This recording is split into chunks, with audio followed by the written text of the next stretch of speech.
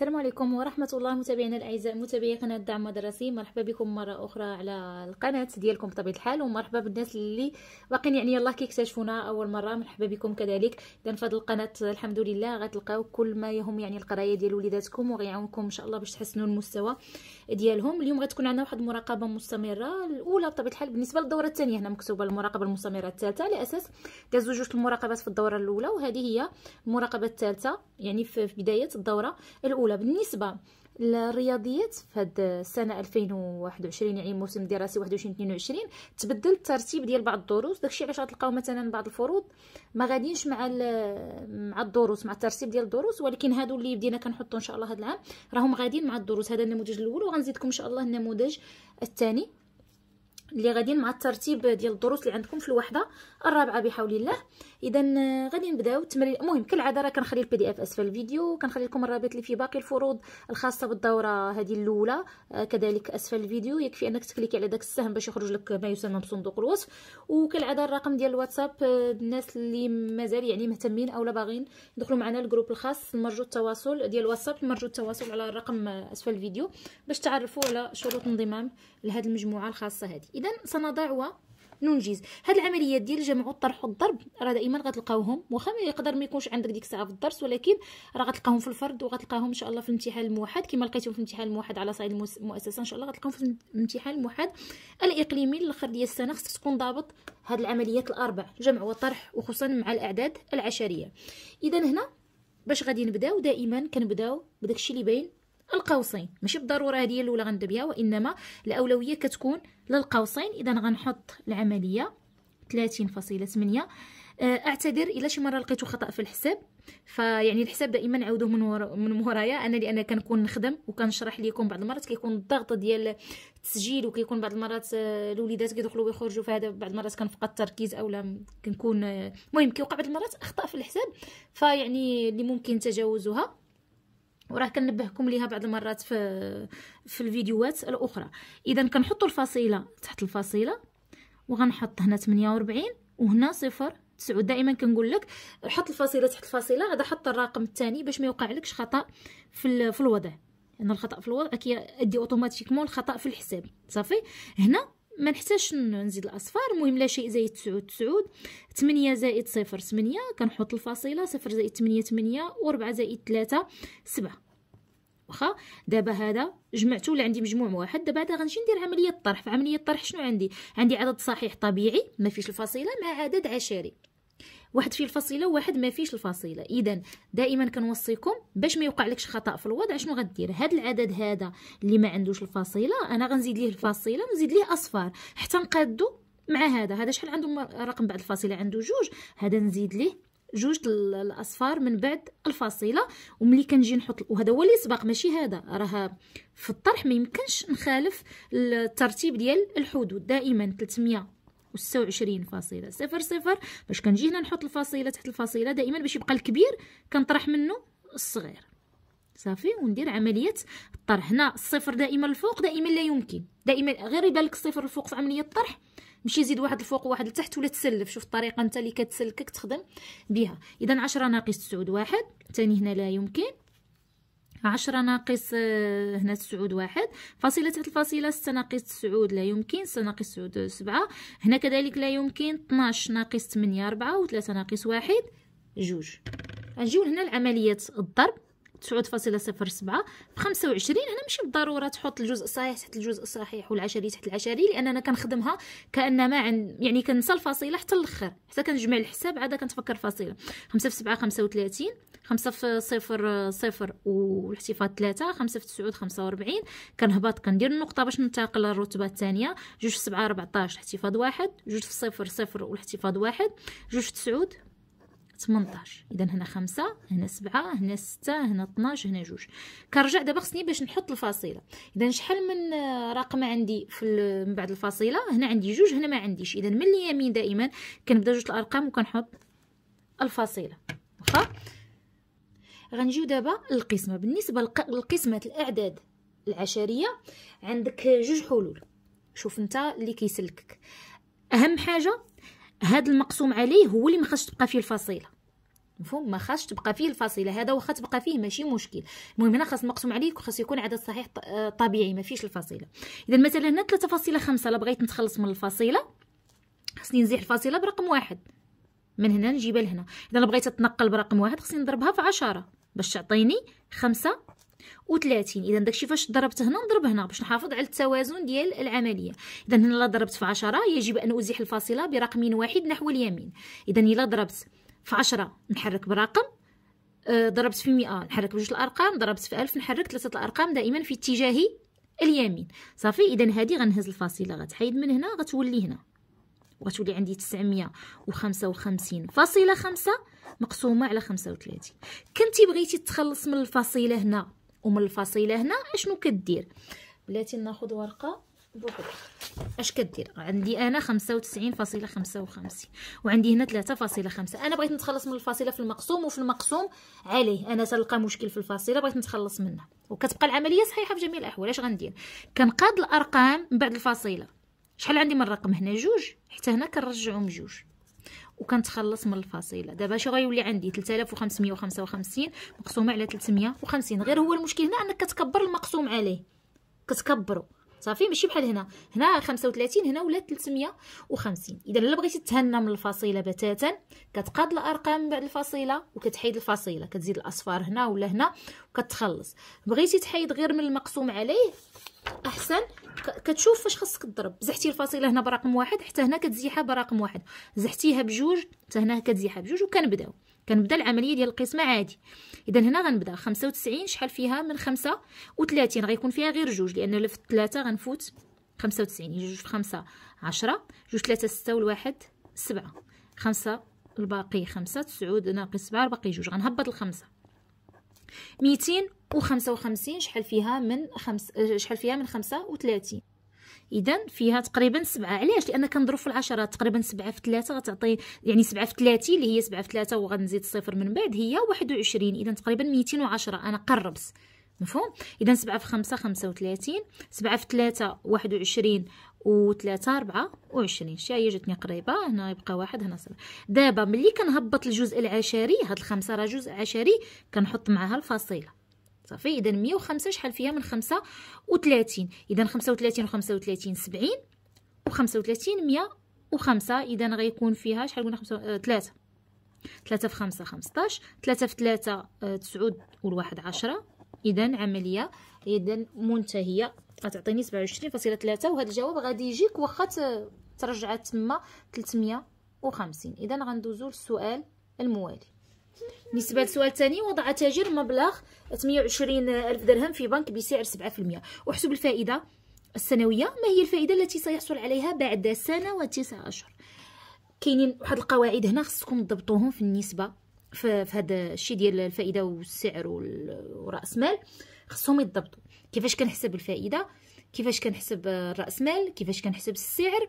كيفاش كنحسب الفائدة؟ ماشي بالضروره سنوية يقدر يكون عدد معلوم من الشهور أو عدد معلوم من الأيام. هادو خمسة القواعد خصهم يكونوا كنتي كتخدم بالطريقة الثلاثية مزيان. كنتي كتخدم بتتحفظ القاعدة مزيان. القاعدة الثلاثية اللي هي أشنو؟ أولا الرابع المتناسب. اذا هاد القاعدة أشنو كتقول؟ إما ديرها في جدول إما ديرها عن طريق أسهم. دابا هو كل 100 درهم كيعطيو عليها واحد الفائدة. تقدر تكون خمسة دراهم تقدر تكون ستة دراهم تقدر تكون. اذا هذا هذا هو الراس مال الأساسي مثلا صافي؟ هذا هو مثلا 100 درهم ها شحال كيعطيوها عليها؟ داك الرأس مال اللي كيكون عندك الكبير شحال مثلا هنا؟ الرأس مال. هنا غتكون الفائدة الفائدة ديالو صافي؟ هذا سعر الفائدة سعر الفائدة كيكون فيها يعني ديك 100 درهم شحال كيعطيو عليها؟ هذا سعر الفائدة. واخا وهنا كتكون 100 درهم. أنا علاش كتبت لكم هنا رأس المال؟ يعني بحال هذاك هو رأس المال الأساسي. ديك 100 درهم. صافي؟ إذا السعر دائما كيعطيوك 100 درهم كتعطينا 5 درهم. إلا كان عندي واحد القدر ديال الرأس مال فشحال غتجيني منه ديال الفائدة؟ إذا هاد الخطط هذه ممكن تخرج منها سعر الفائدة ممكن تخرج منها الفائدة ممكن تخرج منها رأس المال. كيفاش؟ مثلا مطلوب منك رأس المال. رأس. رأس المال.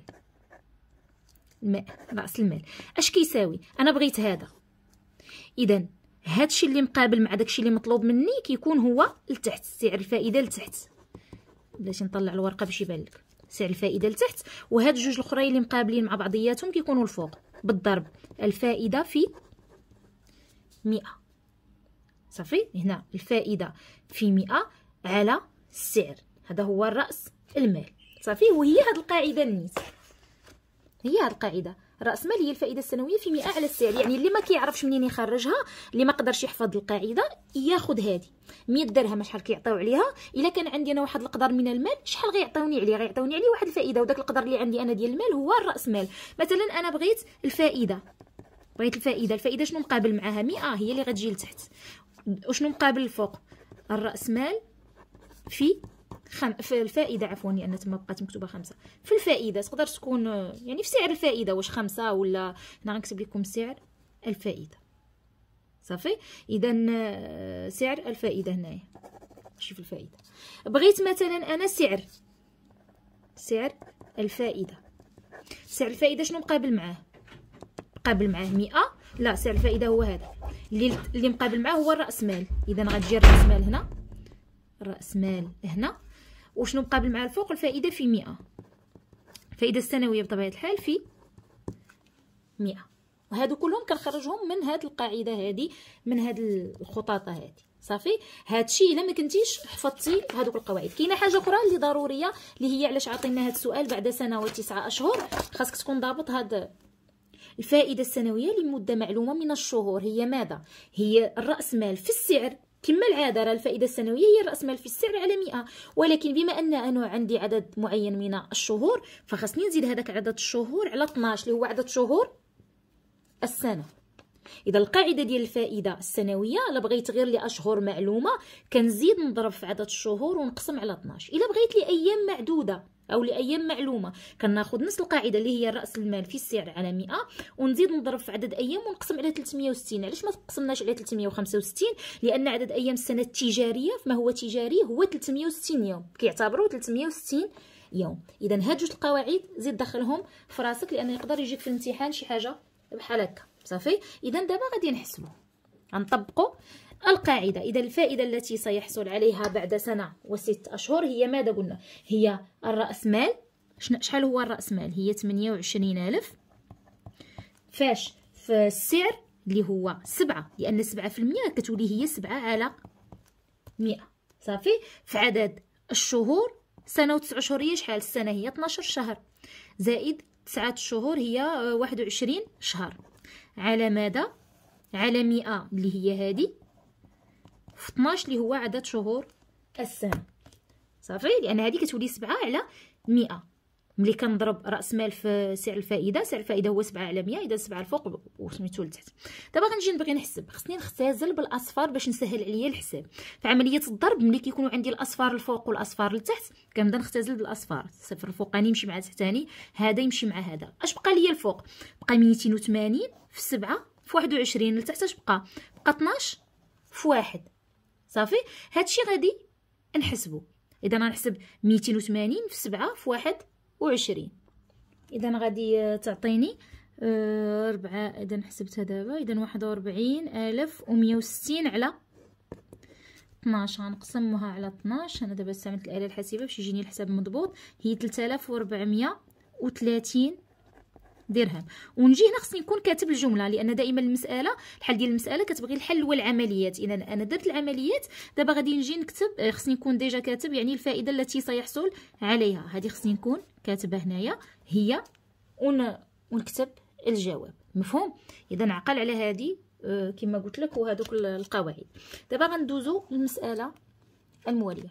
قياس حجم قطعة حديدية هو 20.25 ديسيمتر مكعب واحسب كتلة هذه القطعة بالكيلوغرام. علما أن الكتلة الحجمية للحديد هي 7.8 كيلوغرام في الديسيمتر مكعب.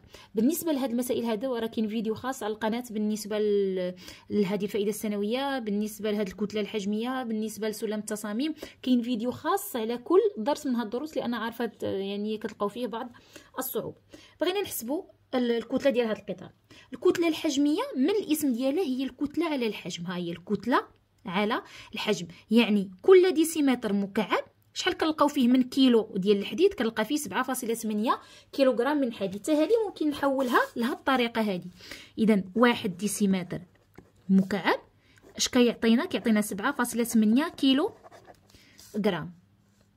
واخا؟ قال لك احسب كتلة هذه القطعة بالكيلوغرام. القطعة اللي عندي أنا شحال فيها؟ فيها 20.25 ديسيمتر. مكعب ورد البال الوحدات راه بعض المرات كيعطيك الوحدات ماشي بحال بحال وخاصك تقوم بواحد العملية ديال التحويل باش تقدر تخدمها. فيها واحد العدد من الكيلو غرامات. في واحد الكتلة معينة. واخا؟ اذا دابا غنخدم القاعدة الثلاثية. اذا هذه الكتلة ماذا تساوي؟ اللي كنقلب عليها. هي هذه في هذه على هذه لأن هذه اللي مقابلة مع الحاجة اللي كنقلب عليها دائما كتجي لتحت. وهذوك الحوايج جوج الأخرين اللي بقاو كنضربهم في بعضياتهم كيكونوا هما اللي في البسط ديال العدد الكسري. صافي؟ اولا نخدم بالقاعدة ديال أن الكتلة هي هي ماذا؟ هي هذا هي الكتلة الحجمية في الحجم. القاعدة كتقول أن الكتلة هي الكتلة الحجمية في الحجم. علاش؟ لأن القاعدة كتقول أن الكتلة الحجمية هي ماذا؟ الكتلة على الحجم. بما أنني أنا باغي الكتلة غنخلي الكتلة هنا وغنطلع الحجم هنا. غيمشي بالضرب. غتجي هي الكتلة الحجمية في الحجم. هذا كيطلع هنايا. صافي؟ ولا نخدم بالقاعدة الثلاثية. وغنكتب كتلة هذه القطعة. كتلة هذه القطعة بالكيلوغرام هو. ونجي نحسب عاد نعاود نكتب. إذا قلنا هو شحال بهذه الطريقة هذه عطانا عشرين فاصلة خمسة وعشرين في سبعة فاصلة ثمانية. إذا غنحسبوها عشرين فاصلة خمسة وعشرين في سبعة فاصلة ثمانية. كتساوي إذا مية. وسبعة وخمسين فاصلة خمسة وتسعين كيلو غرام بطبيعة الحال. ونرجعو نكتبوها هنايا. ما غنحتاج هنا نكتب الوحده علاش؟ لأن كتبت بالكيلو غرام. لما كنتيش كاتب بالكيلو غرام غتكتب كتلة هذه القطعة هي ماشي هو. 157.95 كيلو غرام. غنجيو هنايا للمسافة الحقيقية والمسافة يعني سلم التصاميم والخرائط والتصاميم. المسافة بين شوف هادشي غير ضبطو دابا. لأن يعني غيكون عندك العام الجاي الأولى إعدادي وغتخدموا درس ديال ال SVT يعني علوم الحياة والأرض وغتخدموا على الخريطة وخاصك تكون ضابط هاد المسائل هادو. آه والكتلة الحجمية. عندك درس في ال physique على الكتلة الحجمية la masse volumique ان شاء الله هادشي كلشي ضبطوه من حدك. يعني الحاجة اللي ما ضابطهاش حاول ملي تجي العطلة تزيد تضبطها لأن غتلقاها قدامك إن شاء الله في الأولى إعدادي. المسافة بين مدينتين هي على الخريطة هي 2.5 سنتيمتر بهذا السلم هذا اللي هو 9 الملايين. واحد على تسعة الملايين يعني كل سنتيمتر على الخريطة هو تسعة الملايين سنتيمتر في الحقيقة. ما هي المسافة الحقيقية بين المدينتين؟ غنخدم عاوتاني بهذه الطريقة الثلاثية. إذا كل واحد سنتيمتر راه هو تسعة ديال المليون. إذا أنا الا كانت عندي جوج فاصلة خمسة سنتيمتر شحال غتعطيني من سنتيمتر في الحقيقة؟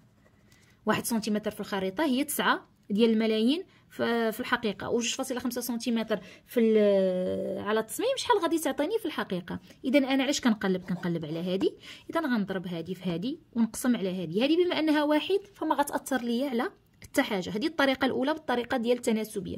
الطريقة الأخرى هي أنك إلا بغيتي المسافة الحقيقية كتشد المسافة على التصميم وكتضربها في مقام السلم. في مقام. ما قلت أنا في السلم. في مقام السلم. يعني غنجي نشد جوج فاصلة خمسة نضربها في هادي. وهادشي اللي خرج لينا هنا. بغيت المسافة على التصميم كنشد المسافة الحقيقية كنقسمها على مقام السلم. شوف بغيت المسافة الحقيقية. المسافة الحقيقية كتكون كبيرة بطبيعة الحال على المسافة على التصميم. إذا كنجيبها بالضرب. الضرب غيكبر ليا العدد. إذا كنضرب في مقام السلم. بغيت المسافة على التصميم بما أنها كتكون صغيرة غتجيني بالقسمة. اذا غناخذ هذيك المسافة اللي كانت حقيقية كبيرة وغنقسمها على المقام ديال السلم وغنلقى المسافة على التصميم. ملاحظة اللي خاصك ترد ليها البال أن كلشي خصو يكون عندك بالسنتيمتر. كلشي كيكون بالسنتيمتر عاد نحول لأن المسافة الحقيقية ماشي مزيان نخليها بالسنتيمتر من الأحسن نكتبها بالكيلومتر أو لا بالمتر. إذا دابا قلنا المسافة الحقيقية بين المدينتين. الحقيقية راه كتلقاو الفيديوهات الطوال سواء هادو ديال الابتدائي ولا ديال الإعدادي فقط لأن كنبقى نشرح لكم في هاد المسائل هادو. لأن خاصك انت تفهم البرانسيپ المبدأ كيفاش كيتخدم التمرين. ماشي التمرين تحفظوا المسافة الحقيقية بين المدينتين هي. إذا غناخذ 9 ديال الملايين وغنضربها في جوج فاصلة خمسة ونشوف شحال غتعطيني. غتعطيني اثنين وعشرين مليون وخمسمية ألف سنتيمتر. بطبيعة الحال خصني نحول الكيلومتر لأن راه مسافة بين مدينتين.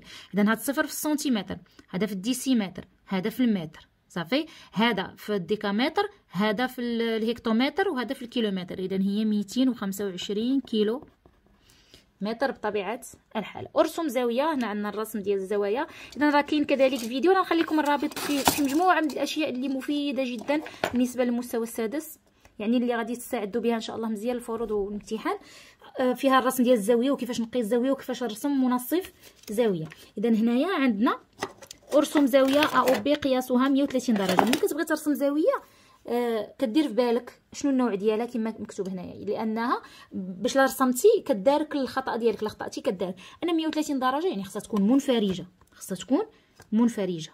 اذا باش نعرف أنا خصها تكون مفتوحة. رأسها أو ها أو. وعندها الضلعين ديالها أو أ و أو بي غناخذ المنقاله يا هادي خصها تكون بيضة وفيها تسطر. خاصش يكون لاعب لكم فيها شي واحد اولا كاتب لكم فيها شي حاجة. ما علينا. آه غادي نحط المركز ديال الدائرة على الرأس ديال الزاوية والخط غادي مع الصفر. صافي هذا الخط هذا غادي مع الصفر. باش يجيني الحساب مقاد هاو غادي التدريجة الصفر. من هاد التدريجة الصفر خصني نحسب 130 لأن 130 كاينة هنا و130 كاينة هنا. إلا رسمت 130 هنا غتجيني زاوية حادة لأن هذه ماشي 130 هذه 50 خاصك الصفر اللي حطيتي عليه الضلع هو اللي تبدا منه الحساب. صافي الصفر لأن كاين صفر هنا وصفر هنا. خصني نبدا من هذا الصفر اللي حطيت عليه أنا الضلع ديال الزاوية. من تما كتبدا تفتح الزاوية. نفتحها حتى كنوصل 130 درجة هنايا. وكنرسم ها هي الزاوية وكنديرها هنايا الفتحة ديال الزاوية وكنكتب 130 درجه ماشي كنرسم ونخليها بحال هكاك حرفية. فهم وهنا الضلع الآخر ديالها أو أ. كنكتب القياس ديالها منوعها منفرجة بطبيعة الحال. منفرجة. بالنسبة للمناصف ديال الزاوية إما نخدموا بالبركار إما نخدموا ب عفوا. نص دائرة ولكن الأحسن نخدموه بالبركار اذا كنجي كنحط على رأس الزاوية وكندير واحد التقاطع مع الضلعين. التقاطع الأول عفوا. التقاطع الأول التقاطع الثاني بنفس الفتحة. صافي؟ كنجي عاوتاني ناخذ هنا الا بغيتي نزيد تزيد يعني تفتح البيركار ماشي مشكل ولكن في كل مرة كتستعمل فيها البيركار كنحافظوا على نفس الفتحة. اذا كنجي كنحط في التقاطع. أحسن نصغر باش تجيني سميتو هنا لداخل. اذا هنا كناخذ كندير واحد القوس. وكنجي لهنا لهذاك التقاطع عاوتاني بنفس الفتحة وكندير واحد التقاطع. وكنرسم المنصف ديال الزاوية والرسم الأفضل يكون بقلم الرصاص. وها هو منصف الزاوية. راه لما لقاتكش الأستاذة أو الأستاذ دير هاد الأقواس هادو راه غتعرفك ما ما راسمش بالطريقة الصحيحة. يعني داكشي اللي لكم الأحسن ترسم بالبركار ما ترسمش بهذا بالمنقالة هذه باش الأستاذة كتشوفك أنك خدمتي ولا الأستاذ تبعتي المراحل اللي أساسية باش ترسم المناصف الزاوية غندوزو للصفحة الموالية. السؤال الموالي رقم 6 انشئ مثلثا ABC بحيث اذا كذلك إنشاء المثلثات في هذاك الرابط اللي خليت لكم. غتلقاو حتى الطريقة ديال رسم جميع الأشكال الهندسية اللي مطلوبة منكم إن شاء الله في الامتحان. اذا غنرسموا مثلث. بالنسبة للمثلث اللي كيعطيوك غير الأضلاع ديالو فكنخدم بالبركار كنخدم بالمثلث وبالبركار اذا بغينا الضلع الأول AB يكون فيه 6 سنتي متر. ها هو الضلع AB فيه 6 سنتيمتر. لأن بعض المرات كيعطيوك ضلع وزاويتين ولا زاوية وحدة ولا وبغينا الضلع الآخر من AC يكون فيه 5 سنتيمتر. اذا غنحاول نجيب العبار ديال 5 سنتيمتر. ها هي. من A لفين؟ من A ل C هنا خصو يكون من A ل C خاص يكون عندي 5 سنتيمتر. ومن B ل C خاص يكون 4 ونص ربعة ونص. إذا نحاولوا نديرو هنا. إما الرسم هذيك القطعة وناخذ عليها القياس ولا غير بحال هكا. إذا ربعة ونص. نبدأ من B وندير التقاطع. إذا ديك النقطة فين كيتقاطعوا هذاك هي النقطة C هذه هي الطريقة باش كنرسم مثلث مختلف الأضلاع بال عاوتاني نمشي نرسمو ونمشي نخليه بحال هكا. لا نسمي هذه C و اس نكتب هنا 5 سنتيمتر وهنا نكتب 6 سنتيمتر وهنا نكتب 4.5 سنتيمتر. صافي؟ أرسم دائرة C مركزها O وشعاعها 3 سنتيمتر. إذا غنرسم واحد الشعاع اللي فيه 3 سنتيمتر. بحال هكا. هذا هو O أرسم الدائره باش هذيك الفتحة ديال البركار كتجيني على حساب الشعاع. اذا هذه هي 3 سنتيمتر. اذا وغادي نرسمو الدائرة عفوا. اذا كنرسمو الدائرة التي شعاعها 3 سنتيمتر. أرسم قطريها AC و BD بحيث يكونان غير متعامدين. إذا القطر هو اللي كيربط نقطتين من نقط الدائرة ويمر من من منتصفها أو من مركزها. إذا غنرسم هذا بحال هكا. ونجيو ناخذ مهم يخصهمش يكونوا متعامدين. ونرسم هذا. هذا. وقيلا رسمته متعامد. لا ماشي متعامد. إذا هذا هو آ مثلا سي وهذا بي دي. غادي نصايب واحد الرباعي. غنصايب هاد النقط ديال التقاطع غنصايب بهم واحد الرباعي. لأنه الا جاو متعامدين غنوليو في واحد الشكل واحد آخر. خصهمش يكونوا متعامدين. ولا زدتي كاع قربتي غيبان حسان. واخا؟ أنا عاودت رسمته هنا في ورقه بوحدو باش يبان لكم لأن قد ما كانت الزاويه هنايا يعني من آه، حاده أكثر إلا وغيبان لكم الشكل اللي بغينا نرسموه اذا هنا شوية بحال بدا كيقرب للمربع لأن الا درناه متعامدين غادي يخرج لنا ديك الساعة مربع. داكشي علاش ما خاصك ما أمكن يعني تحاول تقربهم باش ما باش ما يتلفكش ويحسب لك مربع. اذا ما طبيعة الرباعي؟ اذا الرباعي A B C A B C D مستطيل. معللا جوابك. علاش؟ غنمشيو من الخاصيات ديال المستطيل. الخاصيات ديال المستطيل ديال القطرين قطراه يتقاطعان في المنتصف وغير متعامدين. هادو هما الخاصيات ديال القطر ديال المستطيل. لأن قطراه آه، يتقاطع آه، آه، متقايسان متقايسان ويلتقيان في المنتصف. في المنتصف. علاش يلتقيان في المنتصف؟ لأن هذا قطر وهذا هو مركز دائرة يعني هذا شعاع وهذا شعاع. قد هذا قد هذا قد هذا قد هذا. صافي؟